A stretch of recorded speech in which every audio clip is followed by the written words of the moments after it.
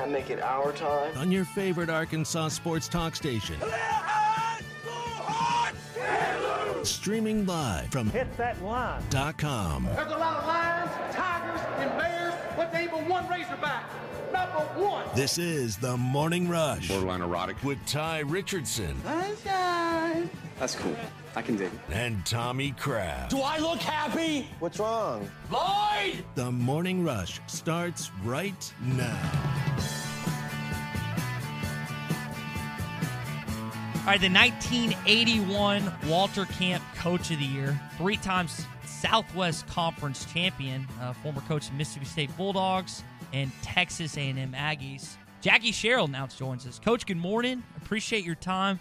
When I'm looking at your coaching timeline, you played for Bear Bryant, you coached under Bear Bryant, then you coached under Frank Broyles, and you also coached under Johnny Majors.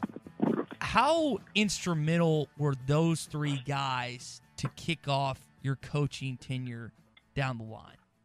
well, all three were different uh, personalities, and all three were different in coaching. But you know, they all were very successful, and having the opportunity to uh, be exposed to all three uh, was very vital, and and you you kind of picked a little from each one. You know, Coach Bryant was a man's man, and there was no question of his success and how he coached. And then Coach Broyles probably was the, you know, CEO probably is the best way to describe Coach Broyles.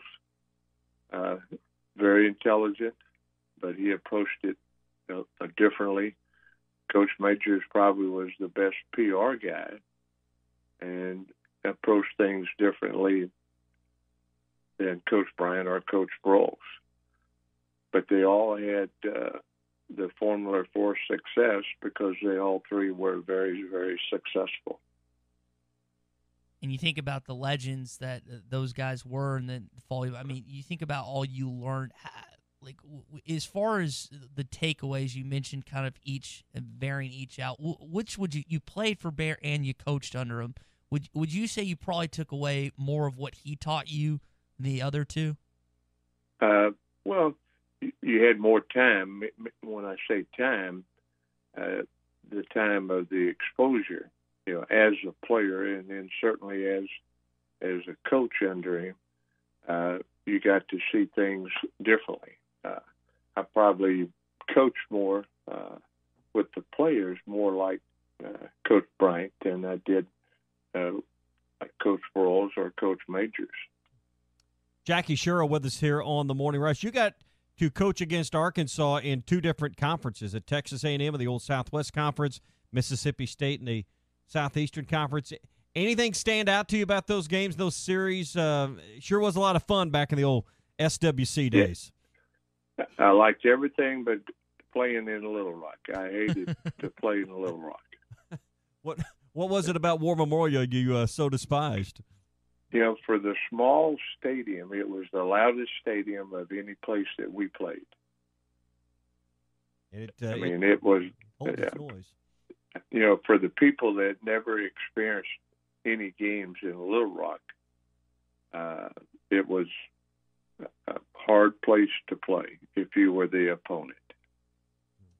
I remember some of those those great battles in the late '80s between A and M and Arkansas, and um, you know some some conference uh, titles being on the line, and, and and having to go down and play there in College Station. That that was quite a venue you had uh, had there in your time in, at A and M. Well, you know, the big game uh, is when I believe it was '85, and Kenny Hatfield, we were moving. We, you know, we dominated the game, and at the end of the game, they moved the ball, and I, and they were on the plus, and it was fourth and three. They run the option, and our safety make comes up and makes the play, and that was probably the biggest play in the game, you know, because if we don't stop them there, they probably would have won the game. Coach Jackie Sherrill with us on the Morning Rush. Coach Tommy referenced the Southwest Conference, the old Southwest Conference case. You think about the talent in the 80s. How difficult was it to navigate that conference as a head coach during that time? Well, I mean, when you go back and look at you had Arkansas, Texas, Texas A&M, and then even when you look at uh, Texas Tech, SMU, uh, you know, there was a period of time that SMU was good as anybody in in the whole U.S. And but the the teams that you played, that it was just it was a conference that each game was a hard, tough game, and you know the the SEC today is probably as close but the rivalry in the Southwest Conference because you know you only had one school out of state, and all the other schools were in the state of Texas. Coach, you mentioned uh, playing in both the SEC, or excuse me, coaching in both the SEC and the Southwest Conference. We've had a lot of former players. We've had a lot of former coaches. We've had Arkansas fans that sometimes wish they were still in the Southwest Conference. Do you wish that conference had stayed intact? Well, the the economics, uh, as you know, drives college football. It drives everything. Uh, TV at that time uh, was, and it still does, drives college football. The money is it comes from your television package, and you know, no one really knows today what the SEC ESPN television package is because they don't want to allow the other conferences to know what they're paying the SEC. But when you look at how you judge uh, revenue, it comes back from one thing fan base because that's where they can sell the the advertisers. That's where you know TV makes their money. Mm-hmm. Same thing in the NFL. You know, but you look at the you look at the fan base of all the schools in the SEC. Uh, all of them are probably a, a, a at or way over a million each school in fan base. And there's only one other conference that can rival that, and that's the Big Ten. And give you an example, the top five TV fan base in the cities in the country, and you you start off at Birmingham's number one, 85 or 89 percent, 85 percent then you go to Atlanta. Then you go to Tampa, St. Pete. Then you go to Houston and Dallas. Those are the top five. Where are they? They're all in the southeast. Part of the country. All in that footprint. You, you were in, in the league with Texas, and Texas is always credited as being a tough, not just tough on the field back in the Southwest Conference days, but tough to do business with, tough to be a conference member with and, and credited for a lot of the reason that there was the, uh, the the folding of the Southwest Conference in a lot of ways. Can can you can you share some insight from your perspective as why Texas made it so difficult from a financial or a business reason to, to be a conference member with them back when the Southwest Conference was intact? Well, the biggest thing is, you know, DeLoss got really greedy. And when they go to the conference meeting, he wanted most of the conference TV money because we've stating us we've been on TV more than anybody. We drive the conference TV, and that was uh, the start. And Tom Osborne in the meeting said, you know, we've earned the right to share. And if we don't share, we're we're out and the next year they didn't share. Then and Coach Osborne called the Big Ten, and that started the landslide. But before that, what DeLoss wanted to do and tried to do was to take Oklahoma and to take all A and M, Texas, uh, and c- probably Colorado. But he, the Pac-12 back then, or Pac-10, they were going to come and take all the teams to the Mississippi River, the big teams. And on a Sunday, they flew into Oklahoma State, Oklahoma, Texas A&M, and Texas. Well, A&M said no, but it wasn't a definite no. They flew to Texas, and what killed the the big deal was, of course, and I have to give Coach Stallings the credit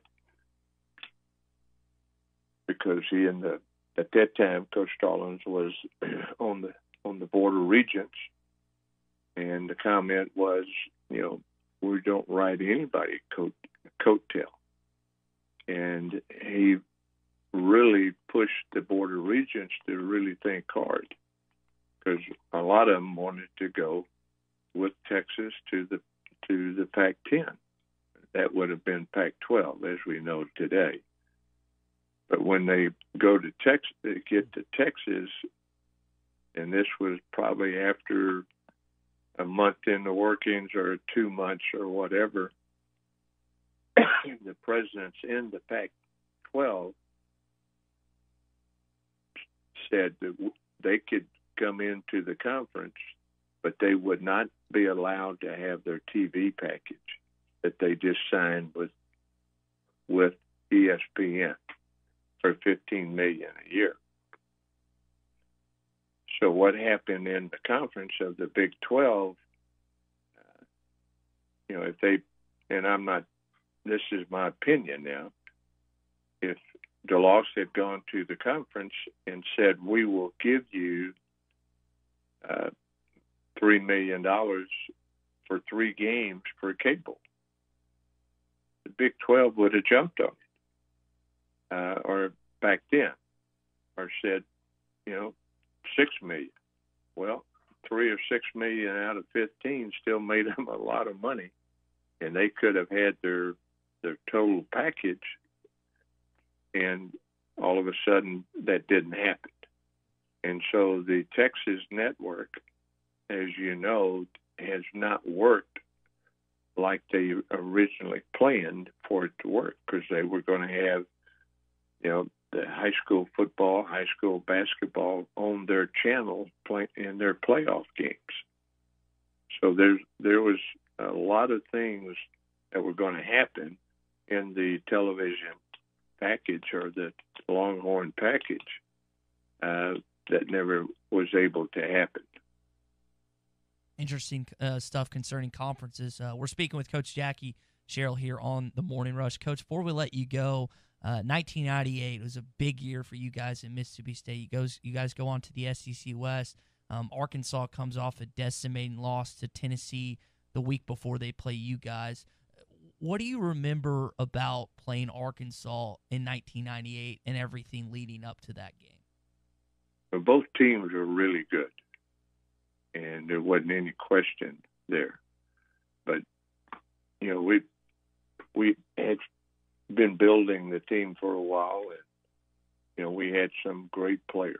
You know, Eric Moulds, uh, one player in the series between Mississippi State and Arkansas, if you could say one player that was the best player or biggest player in those series was Eric Moulds. And Eric put on a show, uh, and of course went off and had a great career in pro ball. You know the series between Arkansas was always very, you know, the greatest, one of the best, uh, hardest games is when I was at Texas A&M, and like I didn't do my homework, and we're playing Arkansas, but we agreed to play Arkansas in the morning, at 11 o'clock. I really didn't do my homework. and normally we send somebody to, uh, you know, visit the place we're going to stay, make sure all the rooms, all the food, all everything is in order, time.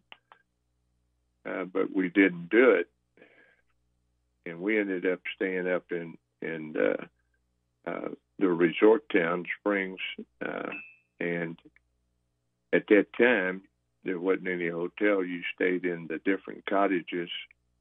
So the timeline, we were up at five o'clock. It was dark. It's cold.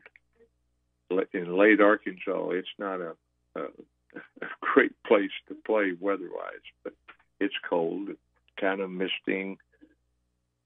So we get on the bus and we we stop. You eat four hours prior to game time. So at seven o'clock, we leave at six. Stop at a at a uh, uh, pancake place in between there and in, in Fayetteville, and they did not have enough personnel to serve the team. And I think we had some players that didn't even really get to eat much of their food. And then during the game, we started off and played really well. Arkansas was running the option, and you know we quarterback gets out of the game, and then they bring in their backup quarterback, which was a throwing quarterback, and we couldn't stop him. At halftime, that was the first time I could really say I never had anything that I thought I could say to change what was going on cold and miserable. but that one game uh, really helped us change because the next week we come home and we beat TCU. TCU wins. They go to the conference, Southwest Conference Championship. And then we go to Texas and we beat Texas 42 to uh, 12 in Austin.